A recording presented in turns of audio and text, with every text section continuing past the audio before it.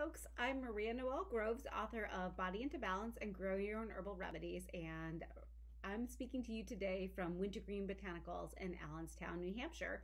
And today I want to talk a bit about one of my favorite herbs, and that is lemon balm. And this is just a fantastic nervine and so many more things on top of that. So let's dive right in.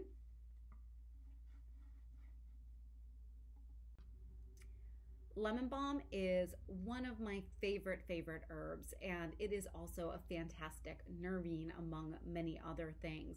And this is the first herb that I um, ever really started working with. My mother started growing it in the garden when I was in college, and I was just starting to dive into the world of herbal medicine at that time. And so lemon balm was the first plant that I really started playing with and making remedies with. It's still one of my favorites. I grow it quite a bit in the garden and I use it a lot. It's probably one of the most used herbs in my apothecary as both a tincture and as a herbal tea uh, for myself, but also for my clients. And so this herb has such a long history of use throughout, particularly the Mediterranean. So it is very popular in European based herbalism and Euro American settler based herbalism. It also has a long history of use throughout the Middle East and appeared in a lot of our I don't know if we could really say first herbals because there are a lot of other first herbals that came out before them, but kind of like what we think of in the Western herbal world as the first herbals that are still in print. So things like Dioscorides, De Materia Medica, as well as Ibn Sina's Canon of Medicine. Both of those classic, classic texts refer to lemon balm as one of the many herbs that they cover. So it has a really long history of medicinal use, and particularly around gladdening the heart relaxing, uplifting. Um, it has a very close relationship with the bees, and actually, Melissa is a name that is associated with the bees and how much the the bees really love lemon balm. And you will often find bees, you know, not swarming, but relaxing and chilling out around your your lemon balm when your lemon balm is in bloom. And uh, and there are a handful of clinical trials on lemon balm that are really pretty fascinating. The research is still kind of preliminary, but it's definitely supporting the traditions of use that we've had for a long time around lemon balm. Really easy to grow in the garden. Uh, if you're watching this, you see that I do have some growing information available on my slides. And if you are listening, you can also access the slides to download and watch them. And I've got just some basic growing information on there, as well as some energetics and other odds and ends.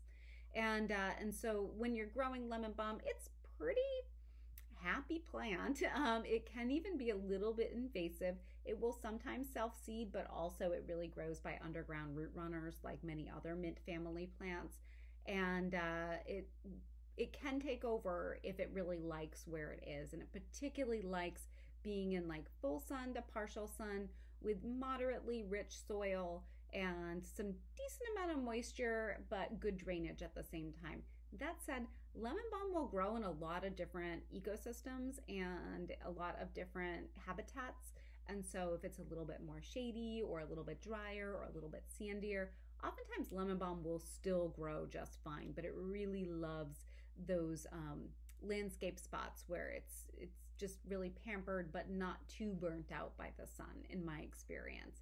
And you can harvest lemon balm from early spring until later. I actually have a little itty bitty sprig here. I don't know if you can see that but it's just starting to pop up in the garden. We're in um, April right now, early April, and it's just starting to pop up and uh, it smells lovely. It smells kind of like lemon pledge, so it's not as yummy smelling as lemongrass and lemon verbena are, but it's still a flavor I really enjoy. And often as it starts to pop up, I'll just take like a little sprig and add it to my green tea or maybe black tea and it adds that lemony flavor and some of the healing properties to that morning tea beverage, which is kind of fun. So it's one of the ways I first start really working with lemon balm when it first pops up fresh in the garden.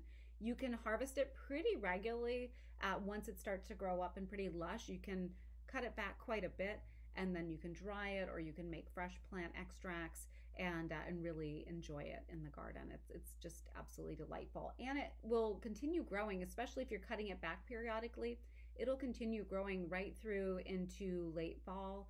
And uh, some of my best harvests, especially if I'm drying it, I find that oftentimes those late season harvests are the best because all those aromatics are better retained when it's not so hot out and burning out all of those into the you know into the atmosphere. And so oftentimes my you know september late september october harvest of lemon balm is just vastly more delicious than my you know summer harvest of lemon balm as far as really capturing those flavors. Also harvesting a little bit earlier in the day you know maybe after the dew dries but earlier in the day will also help retain some more of those essential oils in the final product. So medicinally and especially as a nervine lemon balm just does such a lovely job helping us relax but not relax too much just kind of bring things down a notch and improve focus. It's one of our great nootropic herbs or sort of smart smart herbs that helps enhance cognition. There are quite a few studies supporting that in age groups all the way from kids through elders healthy as well as folks with dementia, um, folks who are more neurotypical, as well as folks who have ADHD, and just a pretty wide range. And where it tends to be really particularly helpful is when people are just kind of a little bit either agitated, frustrated, angry, um, inattentive, hyperactive, any of those kinds of scenarios, a little bit more anxious. Um, any of those scenarios, a lot of times lemon balm just does a really nice job bringing things down a notch, but still having this calm, clear, focus, uplifted effect. And, uh, and that's nice because sometimes we do need to be calmed down, but we still need to be able to function and focus and work throughout the day. Or we want to be calm, but we don't want to be sedated because we don't want to be put to sleep or we don't want to aggravate depression. And lemon balm's often really nice at just being that sort of perfect balance for people. And uh, so, really lovely, great for lifting the spirits. It has many other um, benefits as well, but that's probably where it's most often used, whether you're working with it in the daytime or if you're having it later in the evening to relax, unwind, support sleep, and all that. Because even if it's not so sedating, just the fact that it's calming is usually going to help us sleep. It's a very kid friendly herb as well. So, really, really lovely for a lot of folks.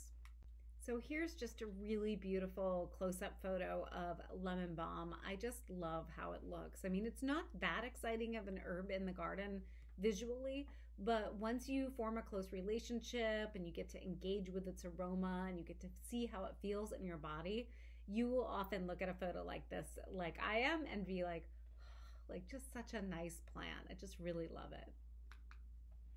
So here we have a couple other photos, including one of lemon balm that's, well, one that's a little bit more obvious of lemon balm in bloom. The flowers are pretty inconspicuous. They're really not that exciting. And while in these pictures, lemon balm really is like at its peak in the garden and would be a great time to harvest it, you will notice that lemon balm, once it flowers, starts to get kind of haggard and tired looking. And so for me, this is a good time that I would harvest it, make great medicine with it, and then I'll get a, another flush later on that looks really nice. But if for any reason your lemon balm starts to look tired, maybe it got buggy, maybe it got a little too soggy from too much rain, maybe a frost came through and now it's looking all, you know, got little black spots on it or it's kind of cranky, just cut it back. And oftentimes it will come back really happy and, you know, give it a next flush that you can work with. So don't get too upset if your lemon balm isn't looking too happy in the garden. Just cut it back and it will usually come back really beautifully. So that's all for today. I just wanted to remind you that I'm Maria Noël Groves. My website is wintergreenbotanicals.com and you can check out my books, you can check out my classes and all sorts of free information on my website. You can sign up for my mailing list, and I look forward to connecting with you in the future. So, happy herbal adventures!